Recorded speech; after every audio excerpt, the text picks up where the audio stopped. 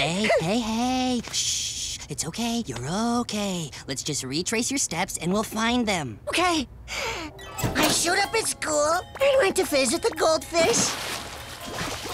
Then to the bathroom to dry off.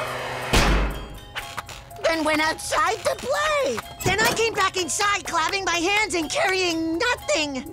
Oh, where could my fudgy lumps be? So it sounds like you left your fudgy lumps outside. Stay strong, fudgy lumps. I'm a coming. Go. Go. Go. No. Uh, is this door an innie or an outie? Somebody help me! It's locked. The pool noodle's too soft. It'll just bounce off and. Yep. The plastic chairs aren't strong enough to. See? This isn't over! I've tried every possible way to escape this daycare.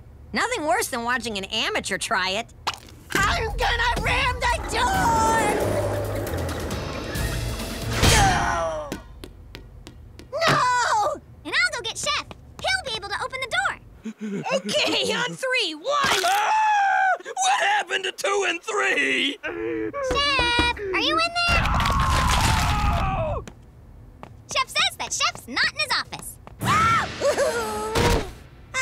get you outside, but it's gonna cost you.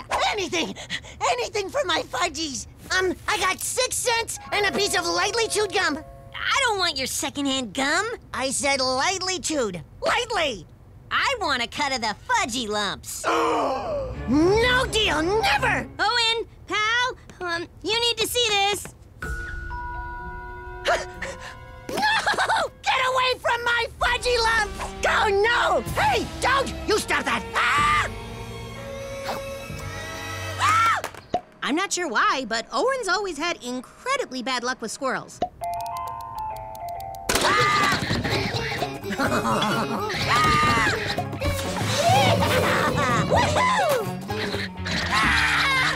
For the love of s'mores, please stop! A snake! Snake! Stop that squirrel! Please stop him! Oh no! Now they both got a taste for the lumps. I will share my fudgy lumps with anyone who helps me get them back.